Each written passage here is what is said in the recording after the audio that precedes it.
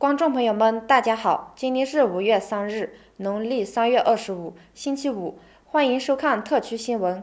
下面请看内容提要：停火期内，民安来武装驻纳戌幺幺四机动营一名士兵携武器向同盟军投诚。同盟军六幺幺民族旅蒙营集训队召开集训动员大会。下面来看详细内容。四月二十八日。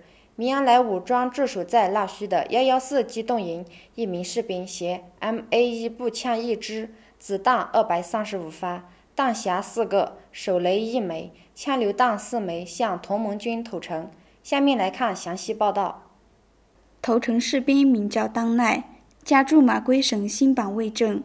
二零二三年下半年被民安来武装抢征入伍，入伍后。在东芝接受军事训练，并并入幺幺四机动营服役。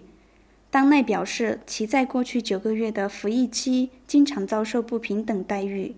同时，他对民安来武装普遍性的非法恐吓和抓捕、杀害平民行为非常痛恨。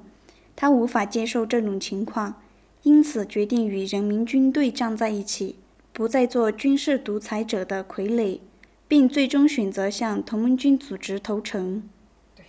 五月一日，缅甸民族民主同盟军六幺幺民族旅蒙营集训队在驻地举行开训动员大会。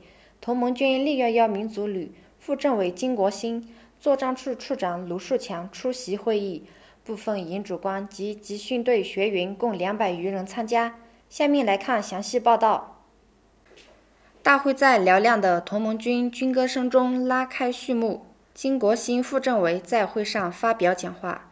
他首先代表六幺幺民族旅对参训的新兵表示欢迎，并向参训官兵介绍了当前民定国内外形势，要求所有官兵应做好应对未来局势变化的战斗准备。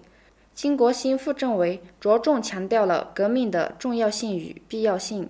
他表示，革命不是请客吃饭，作为当代革命军人，要做好长期斗争的思想觉悟。他同时要求学员珍惜当下所拥有的良好学习环境，因为这些都是革命先烈抛头颅、洒热血换来的。此外，金副政委还对此次参训官兵提出两个遵守：一、要求参训官兵遵守好训练期间的行政管理规定；二、遵守好群众纪律，做好团结工作。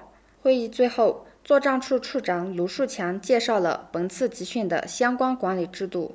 他要求此次集训必须做到严格训练、严格要求，将训练场实战化，要有练时多流汗、战时少流血的思想准备。